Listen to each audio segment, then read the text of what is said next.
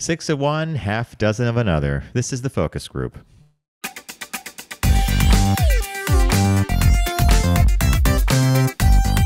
They're all business, except when they're not. It's the Focus Group with Tim Bennett and John Nash.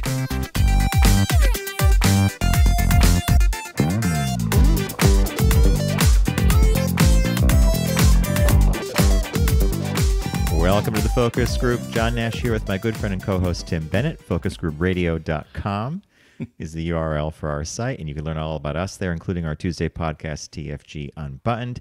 And you'll also learn about our partner, Deep Discount. We're going to be visiting with them uh, later in the podcast here. Tim, are you laughing because of the bakery themed? We had No, on- I, I'm laughing because you were, you and I were talking previous, and it, I'm laughing about what we were talking about because that should be the show, the show before the show, which would be, you know, probably get a suit or something for the for the tales we tell. But that that really is that's stuff people would like to hear, right? The Yes. ant, the antics behind the scenes. So Tim does a lot of this with a straight face. Like, so we'll, we're, we're, we'll, we'll be online and we're prepping to, we're just exchanging information or whatever. And then he'll say, what about this story? And he'll remind me of a story from the past. He does it all in this very deadpan kind of, you know, and then I'm reminded of the characters in the play. And yeah, It, it, it is the show, right? The show between, before the show. Right, the religious quotes taped to the desk and the hookers the night before. There, there you go.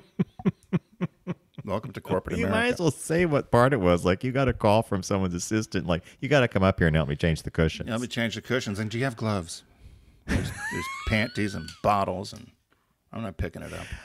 By the way, just just as a a side note, like you gloves? know, that's the part that gets me the most because like w- w- you have to run out to like the store to buy a pair of like Playtex, like the stuff you use to wash dishes, right? Yeah, yeah, yeah, yeah. Well, that's, uh, the old Tim and I days, I guess, right? Well, not so old because we were actually talking about uh, future podcasts and uh, stories we want to tell, and Tim came up with a a concept for one of uh, a, a short series of behind the scenes, behind the curtains kind of thing on a client we did work with a couple years ago, and we're we're we're basically debating how much can you. Right. the first thing Tim said to me was, "I'm looking into libel laws." Well, because it was essentially going to be a primer to say we were out looking. We we had uh, pitched a piece of business, Mm-hmm. and uh, we ended up getting it. And then it was like, you know, oh shit, now what? Mm-hmm. And um, and how you and I kind of need, you know, wound, uh, threaded the needle, I guess, for lack of a better word. And quite frankly, had the owners not been involved, it probably would still be a going concern. oh and, yeah, and probably would have done probably would have done quite well. But uh, by hook or crook, these people put together the the crazy owners put together an actually perfect team to do what they wanted to do. But then, typical of this bunch, they couldn't get out of their way. up. Yep, couldn't get out of their own way. So that's the story we were going to tell, which I think we will tell. It's just we're trying to figure out what you could say, how much is in public domain, and how much is observation and or. Someone once told me, if it's your story, it's your story. Correct. But um, I, I don't know. I, I don't know how much you can say or not say. We'd have to probably talk to somebody, right? But you say you listen to these podcasts all the time, where people will tell um, kind of behind the scenes or insider info about maybe making of a movie or making of a series or something. And um, I guess if it's not, is any of it? Do you think any of it's harmful? Considering the parties that are involved and what's happened over the past couple of years, I don't think if we changed a couple of names and, and the name of the company, we'd be in. I'd think we'd be totally in the clear. But yeah, I don't think anything's harmful because they've harmed themselves. But um, Oh yeah, they were good at that. Hey, quick, uh, quick little housekeeping bit here. Tim, remember uh, a week, couple weeks ago, your caught my eye was how McDonald's sold ice. yes, They could like you could buy a bag of ice at McDonald's. I had no got a- idea. we got a letter from a guy out west. Um, he said, "Hey guys, you can get a bag of ice at Arby's as well. Really? Give us a little shout out, maybe." So there's your shout out. Arby's also sells ice. He said, "Just started listening to you guys last year. You guys are awesome. The highlight of my morning, showering with the focus group. I wonder if that's like a is that an unbuttoned shower? That's like a that Showering. because Yeah, getting ready. Maybe Gillette could sponsor that. there you go. So Arby's has ice. When was the last time you actually ate at an Arby's? You know, you have to have them around you to do this, right? Yeah, there is an Arby's here in Rehoboth, um, Rehoboth Beach. The um, what, what would you say they're most known for? Uh, like a roast beef sandwich. Beef sandwich. Okay. Yeah, and also milkshakes, which I was unaware of because my former rowing coach, um, one of his somewhat Yeah. morbid, but one of his dying wishes was to have one of their vanilla shakes. And so Brian and I, two days before he died, snuck one in, and uh, the nurse went crazy when he had it. But of course, that was the Saturday; was dead Monday, so I think he was he enjoyed the shake. But um, And it had nothing to do with. I don't think the he- shake. I don't think the shake killed him, but he he would he had wanted he had wanted it, and uh, so we got him a vanilla shake. But who, who is did the guy? Did he put his name down? Sometimes we get letters and nobody writes their name. Oh yeah, his name is Harry um, Harry Eiferl, like E I F E R L E. I couldn't pronounce that, but he is the president. out of a- west? yeah, and he owns a um, Arby's he owns franchise. a franchise. Yeah, Oh, and cool. so um, he said, by the way, what does it take for a guy to get socks? Exactly what he just did. So I sent him a note and said, hey. I wonder what state he's in. Maybe we'll stop in. Do you know? I think drive. that I looked at this, and if I'm not mistaken, it might have been Missouri. Does that sound Okay. right to you? Maybe he's near Meramec Caverns. Oh God, Meramec Caverns? One of my that was a highlight of a trip that. Could never replicate it again. Yeah, you can't replicate that trip. Well, you again. could never replicate that because that's Yeah. just you know Yeah, yeah. yeah. Arby's. Okay, well, we'll have to. Uh, I'm, I'm glad. Uh, I'm glad he's a new listener. Welcome, and uh, I'm sure we have some new listeners along the way. And uh, it's always good to welcome people to the show. And you can find out all of our information at focusgroupradio.com, right, John? You can find all of our media house there. Which quite a few shows. I went back and was Oh my looking God! for an Tim. old well, we've been doing this for 16 years now. Yeah. Not all our serious shows are there, but since we did podcasting since 2016, they're all there. By the way, our listener that uh, sent us the thing about Arby's is uh, Michigan. Oh, Michigan. Okay. Yeah. Well, I may be going out there. Really? I don't know. Yeah, depends on where in Michigan it is. I go see the What are you doing on Michigan? I don't know. We'll drive out and see the comrade this summer. We'll go, we'll, and we'll get a bag of ice. A friend of mine opened up an organic farm out there that I went to college with, one of my rowing buddies. And uh, we've been going back and forth, but I, I wouldn't mind go seeing his farm, although he's got a lot of rules about coming onto an organic farm, about what you can bring and not bring and how you operate. So I don't know if you Oh and I might not get God. it. Yeah, we might get kicked out. But I, it could be a cool trip, right? Yeah, yeah. But he he was left this land and uh, started this very cool organic. Uh, So he's farm. trying to use no chemical fertilizers. They want to be careful about what comes onto the property. right don't cutting anything down Yeah. right and and uh, making sure kind of nature does its thing and uh, apparently quite successful he's a brilliant guy he he ended up not graduating from marietta he ended up leaving and he was one of those those people you meet along the way that was probably a renaissance man way ahead of his time and um, just is a very smart smart bright guy but we've kept in contact anyway you opened this this uh, I'm intrigued. You have to you have to keep me in the loop on that Yeah. one. That is really cool. yeah we'll stop by and then we'll go see the comrade I haven't seen Comrade in forever, and I would love to see her. And I gave her that nickname on a when she was look at my new Prada shoes. Well, that's when she told us she was basically a socialist or a communist, yeah, and she was. And, and we're sitting on a yacht in St. Bart, by the way. drinking there was- champagne. well, there was and a war holds up her foot. Right, a war going on, and the French Navy was protecting, you know, St. Bart, and uh, telling us how she, you know, was all for the people and down with the people and everything. And meanwhile, she'd spent the whole day looking for this pair of Prada sandals, and that's when you said, "Nice shoes, puts her comrade." foot- And she, You- you, know, the best part To was she credit- laughed harder. She laughed harder than anyone else because after She she, had just stop. given us the lecture about how she was a communist and socialist and all these other things. But that's re- that's the reason she's so fantastic, right? It's because she could she could take a joke like nice that. Prada and- shoes, comrade. that was hilarious. It was almost like the joke wrote itself. All right. Uh, without further ado, Mr. Bennett, what caught your eye? What caught your eye? Here's what Tim and John found. Speaking of communists, um, Costco. I was surprised this came across my uh, came across my desk feed? my feed, and Costco is selling um, gold bars, or they sold gold bars, and now they're selling silver coins. Did you know this?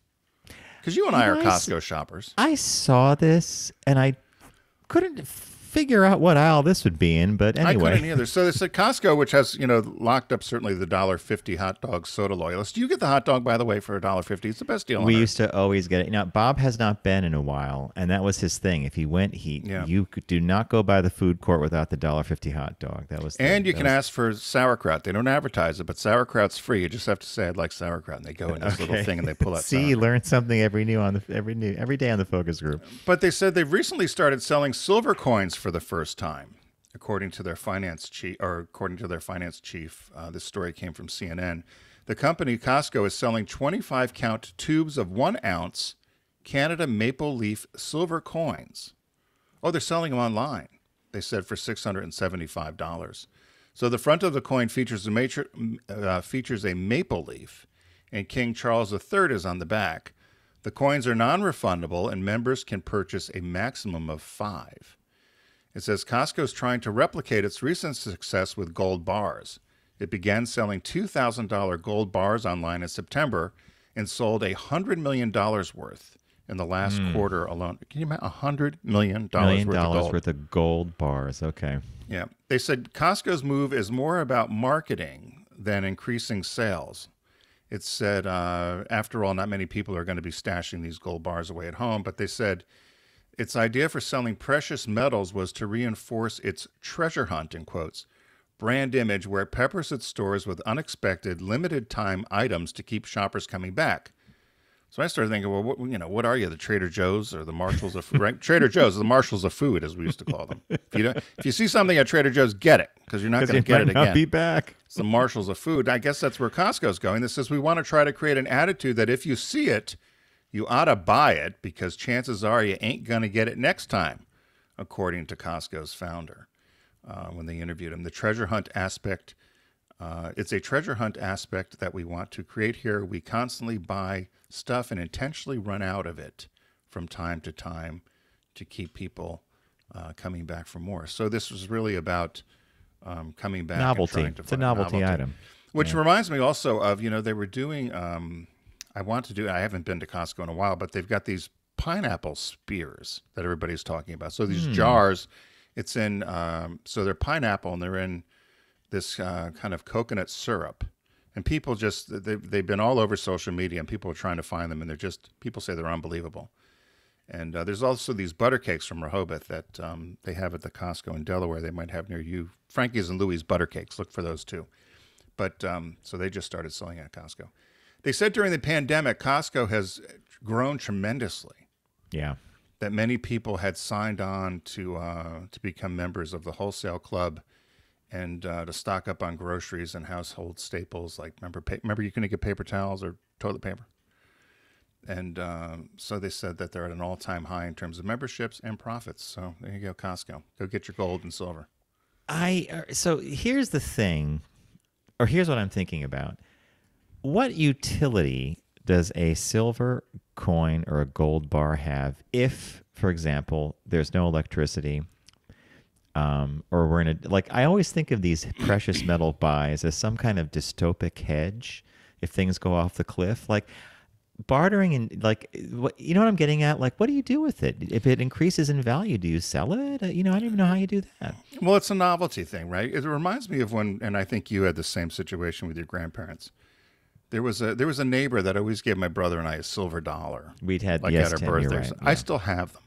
Mm-hmm. You know, you don't. I guess you could spend them. I could take them into the bank, I guess, and the bank would cash them in. Actually, if you saved them, you might want to look online to look for the. Some of them are actually worth a lot more than you suspect Really? because they were they were minted at a time when they put more more almost 100 silver. percent silver in.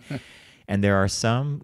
Uh, there's a, a couple of was it the Kennedy half Right, the half dollars. And I think Eisenhower was on the silver dollar, if I'm Right, mistaken. you're ex- you're exactly right. Yeah. And some of them, based on the mint or the year they came out, are actually collector's items for uh, who who collects co- new new numologists. Is that a coin collector? No, I don't know. You, you you're way above my pay grade.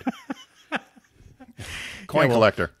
May- Maybe it was that. Maybe I'm getting ready. Maybe I'm Coin confusing it with a stamp collector, but it's the same thing. There there are some mintings like there's this famous stamp, postage stamp of an air. It's called the Jerry something. It's an upside down plane or something, and they they're so rare that when one pops up, it's worth you know tons of money, and you're like, it's a stamp, but you know, same with the coin. All right, so you're saying this is a play for Well, I think it's a novelty thing, right? If you gave somebody this, um, now, not that you'd give a two thousand dollar gift, but you gave somebody this, um, you know, one of these coins. It's probably worth, I don't know if there's five. I don't know how much it would be worth one coin of the of the tube.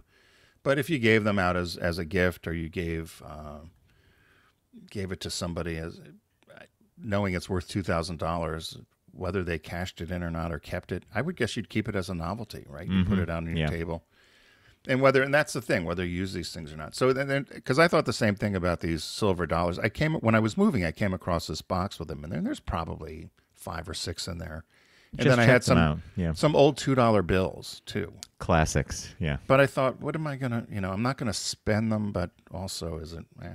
there is an app i guess you can go on and and um and check to see what things are worth so, so maybe i'll do that I would check that out because my granddad, I'm Tim. I have exactly six silver dollars and about eight halves, and it was from my grandfather. It was the same thing, and yeah, so I checked it out one day because I, had read somewhere that one of these Eisenhower silver dollars was worth. I was like, maybe I have that. Well, later on, we're going to talk about something that I did have that I'm mad that I got rid of at my yard sale, but it'll, it'll be during our business birthday. Ah, okay.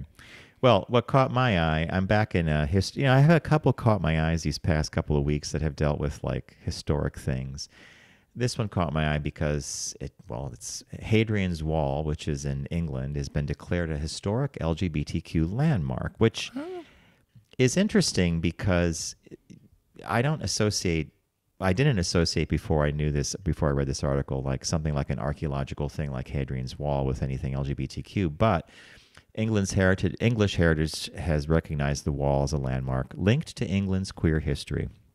The Romans constructed the stone wall during the second century of the Common Era, approximately 1900 years ago. So, Emperor Hadrian pushed the boundaries of the Roman Empire's far, far north, and Hadrian's Wall was the demarcation line for how far the Roman Empire extended into the then, you know, they I don't think they called it Britain, but maybe they did.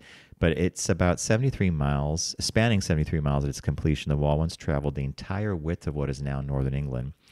It is considered to be one of the best preserved artifacts from that time period. Um, English Heritage, the charity that manages over 400 of these historic monuments in the country, wrote about the landmark's significance in a recent email to its membership. And the organization said that Hadrian's Wall is linked to England's queer history through the emperor's well documented history of gay relationships. Now, this is the thing that surprised me. So, Hadrian had several male lovers while he was married to his wife, his wife Sabina.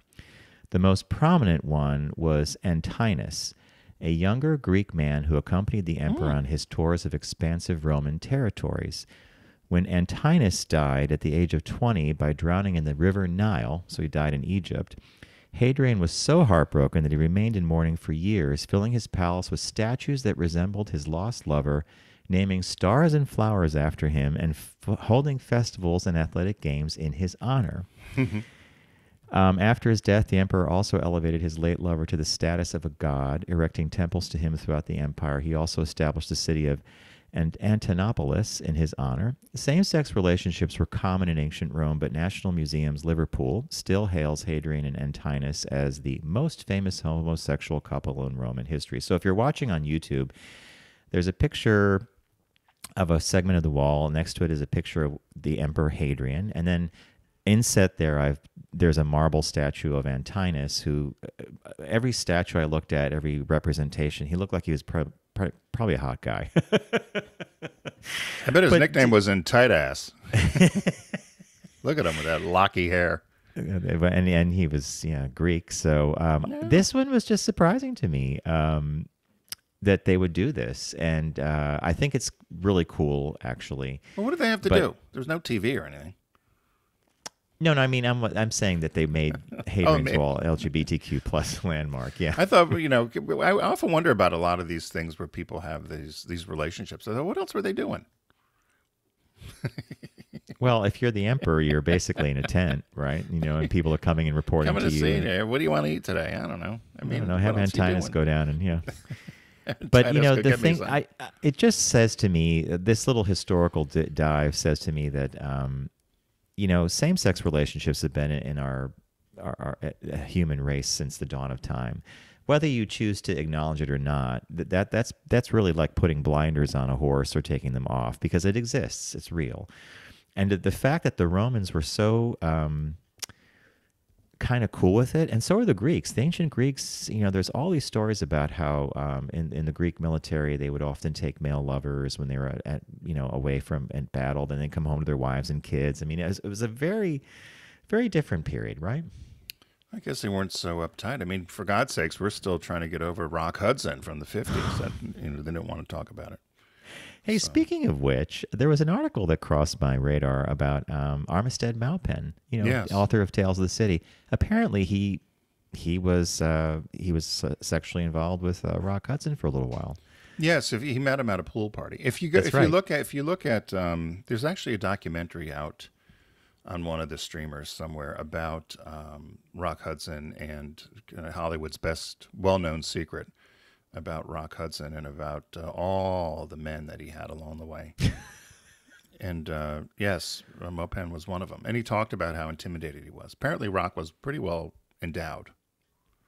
This this particular article, uh, Armistead Maupin talked about how uh, Rock Hudson also liked poppers Yes.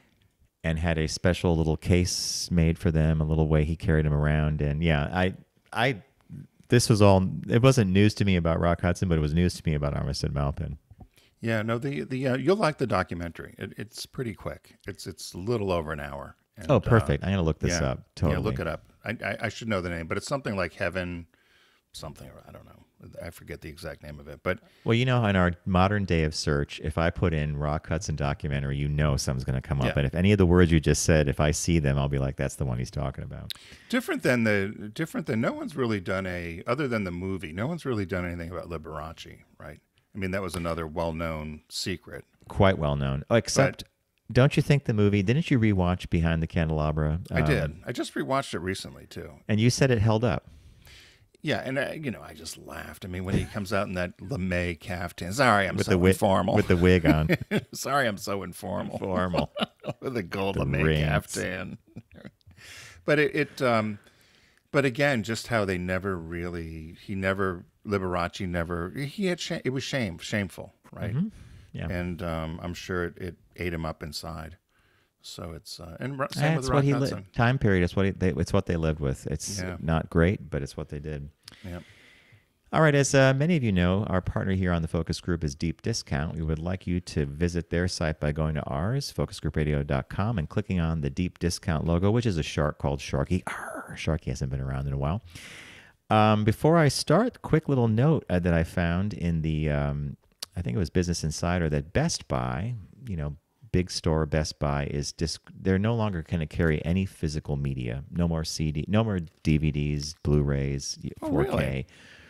and it just says to me if you like something buy it because you could always pop it in your player like you know we do it all the time and they don't things are not always on a streaming thing so um, this month we have a spring-wide shark madness sale everything at deep discount is on sale they already have great prices but you can pick up actual vinyl records books fan things, electronics, games, and of course, Tim and I often uh, uh, most exclusively talk about um, movies, TVs, and sometimes uh, music. So, Mr. Bennett, what did you pick out of the spring sale this week?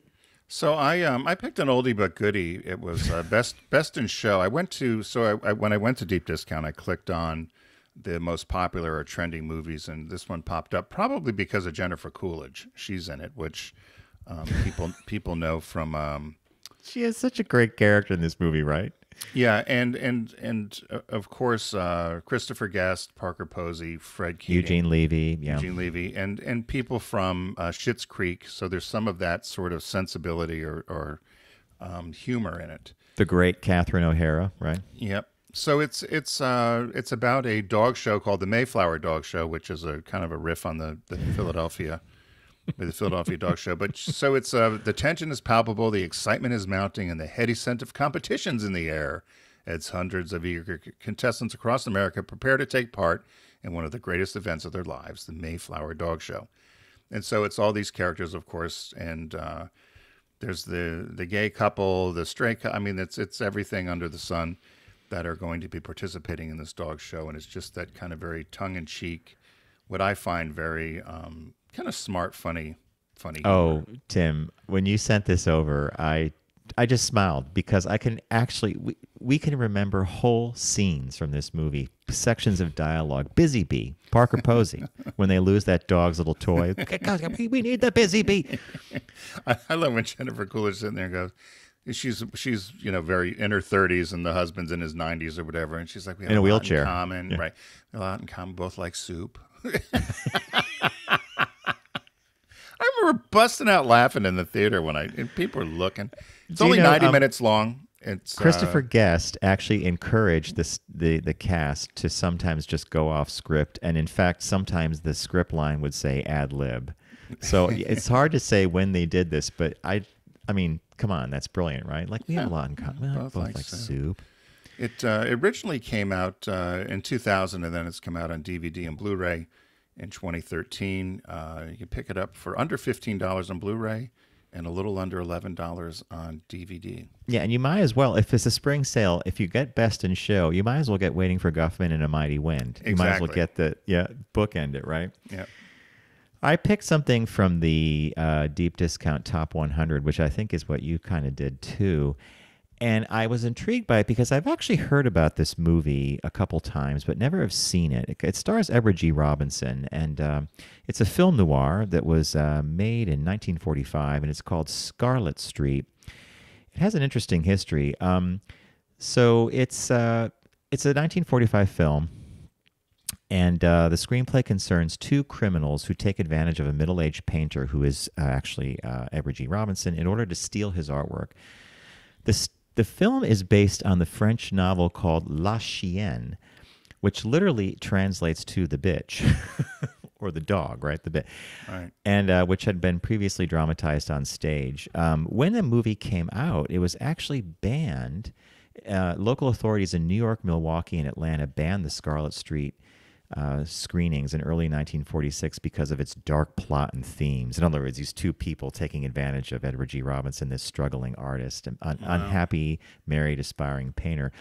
So I just it's it pops up a lot in in uh, film critics often talk about this period of time in certain movies, and Scarlet Street pops up, and I've never seen it, so I want to get it. And this edition is a 4K HD, Ultra HD. Uh, they call it a steel box edition. So there's a lot of great little extras in there, and it probably looks great. You know, I love watching black and white movies, anyways, especially if they've been, tre- you know, restored and they just Right. sparkle. So that was my pick, and we do have a new release this week. Uh, one that I would actually like to see because I think we all know the original film uh, that starred Whoopi Goldberg, and this is The Color Purple, the 2023 version. Um, a story of love and resilience. The Color Purple is a decades spanning tale of one woman's journey to independence. Celie faces many hardships in her life, but ultimately finds extraordinary strength and hope in the unbreakable bonds of sisterhood. Now, am I correct in my assumption that this is actually closer to being a musical? Because I know there are musical numbers in here. Have you heard about this? I haven't heard much about it, but I was curious because, like you, the original Color Purple was not that Oh. long ago. No. Well, Tim, I got to tell you, it's it's a while. Is it? yeah, it's it goes back. Yeah. Because I was trying to figure that, and I thought it, it seemed awful early to do, and I wondered why in some cases they do, you, you know, they A do remake? another a remake, An yeah. update or a refresh, an update, yeah. a refresh. So, but I think you're right. There's a number of uh, a number of musical numbers from what I hear. So maybe maybe it does have a more musical score. I don't know. So we'll have to we'll have to check that out. So it is a new release then from uh, from Deep Discount. So as John mentioned earlier, be sure to head over to focusgroupradio.com. There's a uh, Shark Madness sale going on, site-wide sale at deep discount, and uh, you can find lots of media there that um, will keep you busy for for quite some time. I had picked this week Best in Show, which is an old classic. that gets a thumbs up.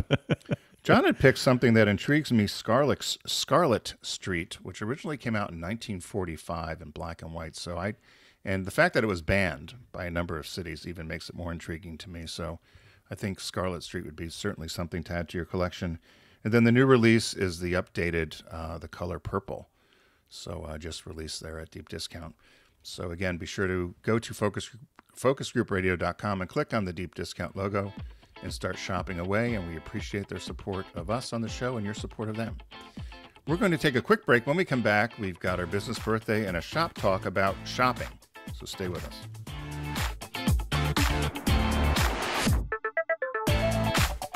You're listening to The Focus Group with Tim and John. Learn more at focusgroupradio.com.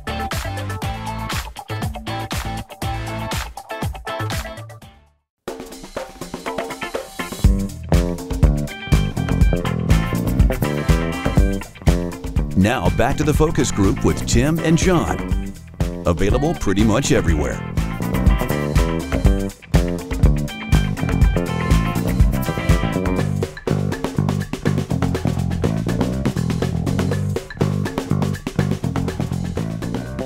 Welcome back to the Focus Group. John Nash with Tim Bennett. FocusGroupRadio.com is the URL for everything you need to know about us, including our Tuesday podcast, TFGM button. And you'll learn about our partners there too. We just visited with one deep discount. You could get to them by going to our site and clicking on the deep discount logo. So, Mr. Bennett, without further ado, the only show that does this, the business birthday. Everyone does celebrity birthday greetings, but the Focus Group is the only show in the universe that celebrates business birthdays. So uh, we had a couple. Well, we had a, several options today. Today's March 11th, and um, the first one I, I had thought of doing, and then I had stumbled across the one that we're going to do. But the first one was a guy named David Cummings. Do you know him? Do you know that name? Well, I know E. E. Cummings, the author. Oh don't no, no, no. what did David do? David Cummings is the world's oldest porn star. Oh, well, that, Tim, that le- legitimately to me is a business birthday, but I know we. So we'll have to we'll have to figure that. Maybe next time we do March 11th in the year 20, you know, 33, we'll uh, we'll we'll cover him. But um, I did pick instead somebody who's 63 years old today. Uh, the official uh, date of debut or birthday is Ken, the Ken doll. this I love this. I didn't know it had a whole name. I didn't know I it had, had a name. I had no idea either. The real name or the name of the Ken doll, which uh, was released or appeared uh, today, 63 years ago, on March 11th, 1961, is Kenneth Sean Ken Carson Jr. Someone actually came up with that. That's his name, right? He's a counterpart to Barbie, and uh, who was introduced two years earlier. So similar to Barbie, Ken is from Willows, Wisconsin. I didn't know they were from a place. They're from Willows, Wisconsin.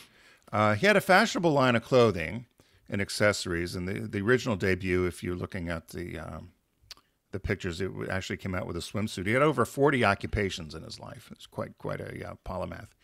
He um, he met Barbie on the set of a TV commercial and was her boyfriend until 2018. And now they've just been platonic friends. They decided to take a break, like a lot of celebrity couples do. so he's he's been everything from an astronaut to a chef to a pilot to a doctor, a military. Uh, he was in the military, lifeguard, vet, doctor. Uh, as I said, architect, teacher, teacher, a number of different occupations. Um, when he was introduced in '61, he is he was named after a real person named Kenneth Handler. So Kenneth Handler was the son of Barbie creator and inventor Ruth Handler, and Barbie was the name of her daughter, and Kenneth was the name of her son. So that's how Barbie and Ken got their names.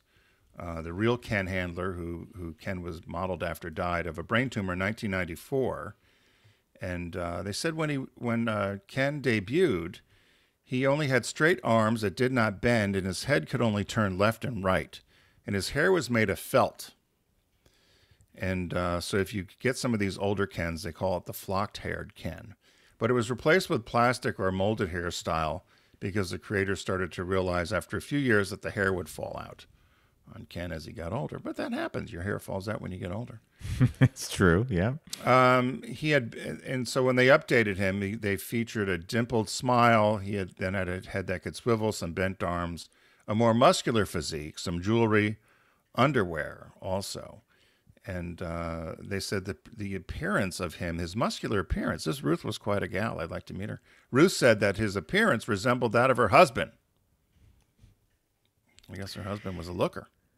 Yeah, exactly. And played tennis and had a tuxedo. had and- everything. So they said, um, so they, as I said, they decided they were going to spend some time apart with the with the romance, but then they revamped the Ken doll. He was revamped in 2006, and they thought even though he and Barbie were platonic, that maybe they should get together again in 2011 around Valentine's Day.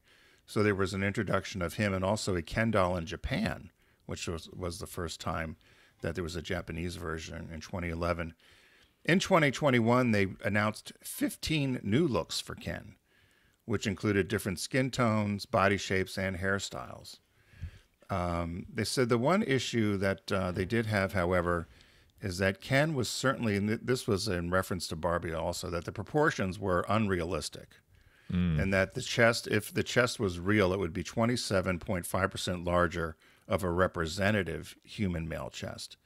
They said the unrealistic proportions also centered around his lack of genitalia. I, that, remember that there was just like a flat nothing down there, right? They, they thought he might, sh- you know, might have something. The um, Barbie and Ken's last names came from, of all places, their ad agency, which was named Carson Roberts. So that's how they got the uh, the name for um, for Carson as the last name for Barbie and Ken from Carson, the ad agency. And then they said that over the years there were also, and this is where I was talking about earlier about uh, having things of value. There are a couple of other um, t- types of of uh, Ken dolls that had come out. Two in particular that are quite quite collector's items. One in 1993 was the Air, Earring Magic Ken, which um, resembled a lot of the fashions and accessories worn by segments of the of the gay population. For instance, he had a cock ring around his neck. Remember? And the It purple was vest. supposed to be an earring, but yes, Well, it was- yeah. it- the nickname was Cockring Ken, right? Right. And so I had two of them perfect in box and sold them at my yard sale in Glenside you did because not. You did somebody not. told me they weren't worth anything. they are not. What'd you get for them? Oh, probably three, five dollars, right? So I went on Ah. eBay and I just looked. They're going for three, four hundred dollars. Yes, I bought them for in like, four, right? oh my god, I'm so angry. I called Matt. I yelled. I said, "You told me these weren't worth anything." He, oh well, that's what he said. Well, not oh well. Wait, I could, you know, knowing him, I oh well. I said, "You owe me." You know, these were. The, he goes, "Well, it depends who's going to pay for it." I said, "I just looked at some. You know, you go on eBay and see what they've actually sold for, and it was you know 145. you mean you did the 300 search where you could look for what the completed sale what the completed yeah. sales were. Yeah, and there's also there was a Sugar Daddy Ken in 2009 um, as part of their Palm Beach line, and everybody got upset about it because it was Sugar Daddy Ken. I Sugar Daddy Ken. existed. Yes, it was aimed for adult collectors. The line officially debuted the spring of 2010. The line proved to be controversial because of Ken's suggestive sounding name. The doll had a more mature appearance and came with a West Highland Terrier puppy. so Mattel decided that guess what, John? The puppy's name was Sugar. So this was Sugar's daddy. That was the way they got out of the. Uh, That's a PR threading a needle, right? that ad agency, they're paying them well. Yeah. Yeah. So all of a sudden, oh no, no, you you've misread this. It wasn't. Su- you- you're you're mis you know misinterpreting Sugar Daddy. The, the little dog's name Sugar. He's Sugar's daddy. daddy. Yeah. So happy birthday, Ken. Sixty three years old today. March Good 11th. one. And Tim, I got to tell you something about, uh, you know, those MIB, those mint in box dolls. Your your gut told you you were sitting on something worth more than three bucks, right? I thought so. I, I remember I got the phone call from Marianne. I, we were living in Chicago. This is 1993, and Marianne said, "Oh my God, the uh, the Walgreens in Chicago just got a whole shipment of these gay Ken dolls." I'm like, "What are you talking about?" She goes, "They're like 4.99." So Steve Dilworth, all we ran up there and bought these dolls, and um, and then, what am I going to do with this? So I carted them around for 20 years. And um, then when I moved, I had this whole box of these dolls. I had some Lucy dolls too and uh, inbox. And um, Matt was helping me put the sale together, as Richard and everybody else. And I said, "Oh, these are going to be worth no, nah, not worth anything." now Matt's usually pretty good about that stuff. Matt usually does look things up. He apparently has some Calvin Klein Barbie that's worth a thousand something dollars in box. Anyway, I'm mad about earring Magic Ken. You heard it here first, folks. I'm mad about your, So that- magic earring, Ken. I'm ready. you had two of them. I had two of them. I never even took them out of the box. I mean, at the low end, even if it got 300 a piece, If they got 50 bucks, I'd have been happy a piece. I'd have sold them both for a 100. I know I didn't get it at the yard sale. I was I was selling restoration hardware mirrors for $15 and people were still trying to get me down. and still trying to buy a vacuum that you were still that Mm-hmm. Trying to you in still my own. bathroom, taking things out of my bathroom. Is this for sale? That's a mop. No, I'm not selling my mop. That's like when Bob did this really classy uh, yard sale up at Oh, our good house. I mean, it was they were people wanted to buy the rack the clothing was hanging on or the step ladder. Like we're like, no, the everything was far more valuable than that. I told you I had two chairs that were broken, two desk Yep. chairs that were thrown in the trash, literally in the backyard of the house in a pile of trash. Someone and guy them. comes out with both of them. How much for these? I said ten bucks each. Oh, take them. God Almighty. Broken chairs with it- no arms. Do you remember the acronym TNAFT? TNA. There's no accounting for taste. I Oh. think we got that out of the preppy The handbook. Preppy Handbook, possibly. yes. Yeah. Lisa Birnbach. TNAFT. All right, folks, moving along, we have a shop talk for you today. And our shop talk is called uh, The Six in One Method to Grocery Shopping. Um, in a nutshell, there are a couple TikToks online, and people talk about grocery, different methods of going through the grocery store. Perhaps you've heard of just going around the edge of the store, which would hit produce, uh, protein, and, and and stay away from the aisles, which is usually packaged and processed food. But in this case, Chef Will Coleman put together something called the six to one grocery shopping method. Here, it works like this, and this is what Tim and I are going to discuss because I'm still trying to puzzle about how I would actually do this. Shoppers purchase six vegetable items, five fruits, four protein sources, three starches, two sauces or spreads, and one item just for fun. The system simplifies shopping, reduces waste, and saves money. I'm thinking that those are all nice things it does, but from a health standpoint, this guarantees you're getting your your correct and proper servings of fruits, vegetables, and good quality protein. So, um, but putting this into practice, though, like, did you think about this, Tim? How would you go about this? Well, I, I, I, yeah, you're going the same place I did because I thought, okay, if, as you said, it's it's going to save time, it, it will eliminate food waste. A lot of times you'll buy stuff and maybe you don't use it and it gets it gets thrown away because you have too much lettuce or something. And uh, and then they said it simplifies simplifies the math, meaning that you're just going to buy these things and that's it. And so I tried to figure it out because they, they had said, you know, they gave some examples that if you had purchased, um, for instance, say you had mushrooms and bacon and uh, Well, Some- mushrooms count as a veggie. Bacon would be a protein, a right? protein, and then you could just simply look up or, you know, what, what recipes could I make with bacon and mushrooms? So if you bought those two things, for instance, and you're at the end of your week, it would give you recipes on what you could make or what you could do in terms of the, the sauces and uh, and using the food.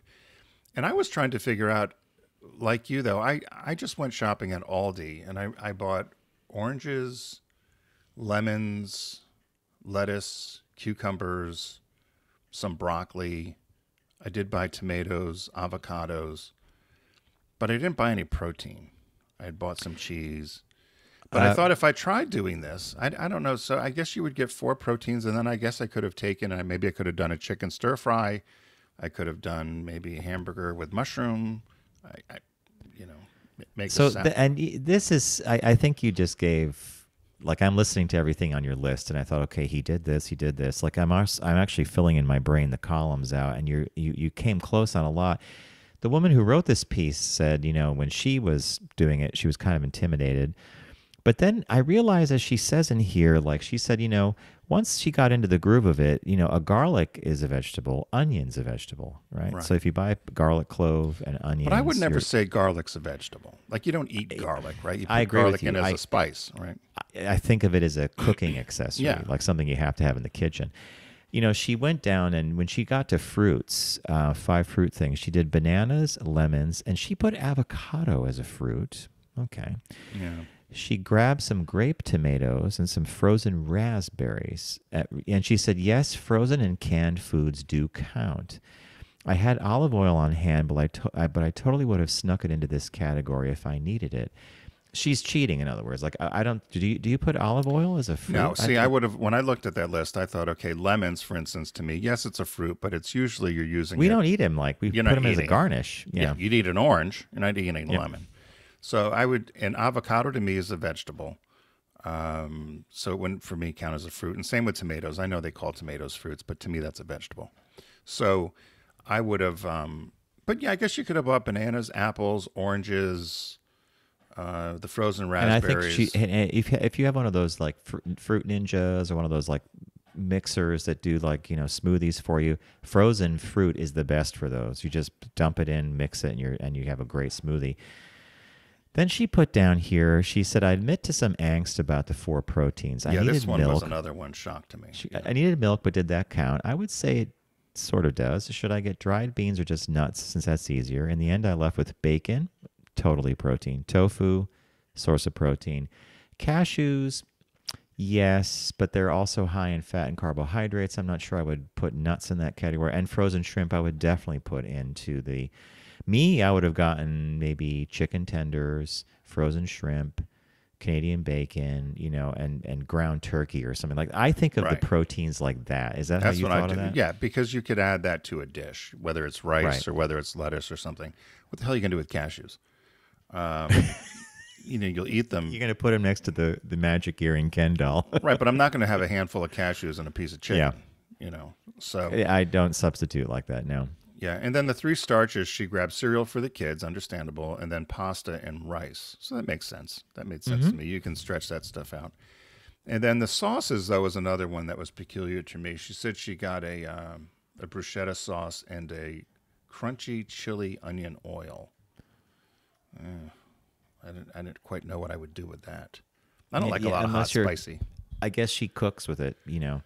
And then she said at the Lens, she said one, choosing one fun thing was hard, but buying only a single treat made it feel extra special. So she picked um, pecan kringle.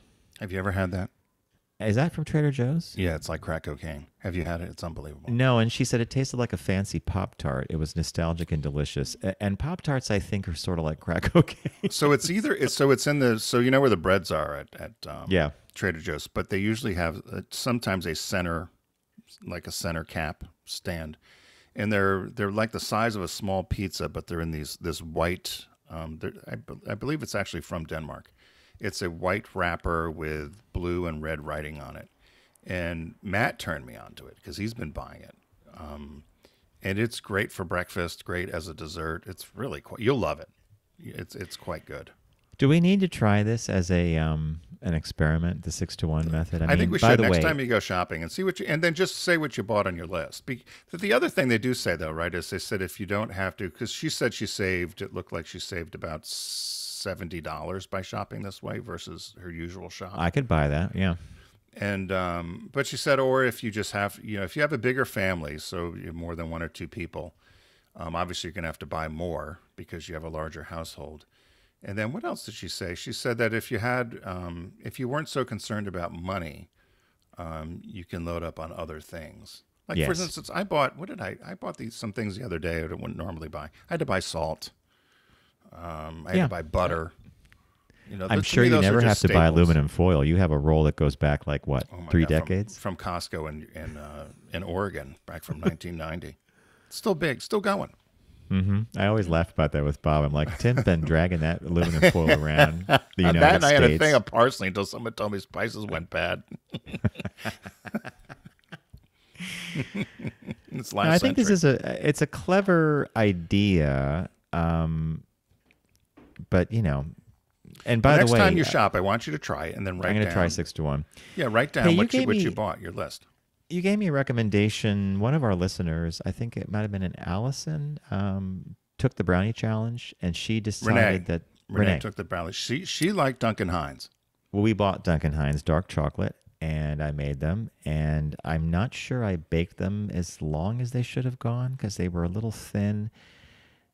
They were tasty, but I still prefer the Pillsbury, which we made last night. Um, and Bob had me bake. We, we did it in a glass pan this time, which took a little longer to to bake. And Bob's the the the master of the. Yeah, he he dips it in and he'll be like, "Okay, is it ready?" You know, you know. And Do, do they get? Do you get a little hard around the corners? Yes, yes, it, and, that, like and that's perfect. And they Chewy. came out fantastic. So, And then our producer Matt sent us a video that someone did where they looked at I think ten different um, Right. box brownies, and they their king kingpin was Ghirardelli. By the way, I've tried the Ghirardelli Which I brownie was mix. surprised about. And it's like three times as much as the Pillsbury one. Seven, six to seven dollars a box Yeah. versus Pillsbury is on sale for a dollar eighty-two. How do I know it? Because I just bought two bucks. I got to do the Pillsbury thing. I was at the store the other day and I laughed because I saw the You Duncan Hines oil. and Betty Crocker, but I didn't see the Pillsbury one. So I've, I've got to hunt you- down the Pillsbury and get the dark chocolate. It's it's it's scrumptious. Yeah. The one thing I So want to try, go. and I said this to Renee because she had said she and her daughter, after they listened to the show, they did the they did the test and they came up with Dunkin' Donuts. Her daughter, Mary Duncan Frances, Hines. or, I'm sorry, Duncan Hines, Mary Frances. And I said to her, I I had seen when I was looking for this orange cake, You mentioned this, yeah. which I've never I've never had. Now I did try to make an orange key lime pie, which was or an orange lime pie, uh, orange pie, which was a disaster. I don't think that. Yeah. Well, somebody told me too much water in oranges, so that's why I didn't set. Oh, okay. Yeah, didn't that realize makes that. sense. So that's why I as Richard set. says, you made pudding. I made pudding.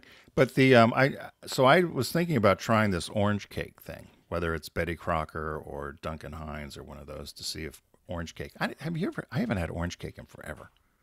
Neither have I. No, yeah. I'm not even sure I ha- can and tell you when the last time I ever had it was. Yeah. Yeah, a long, long time ago.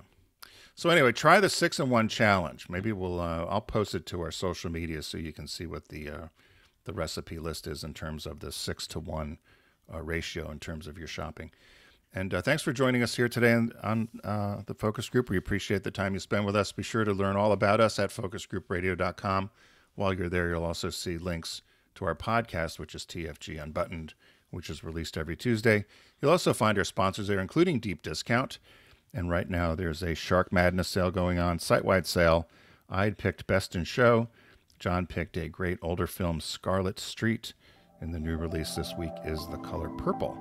So be sure to, uh, again, head over and support our friends at Deep Discount. We want to remind everybody that uh, we want you to arrive alive. So don't text and drive. Too many people are doing that, and you hear about too many accidents. And uh, we want you to be safe out there. And we'll see you next time on the Focus Group.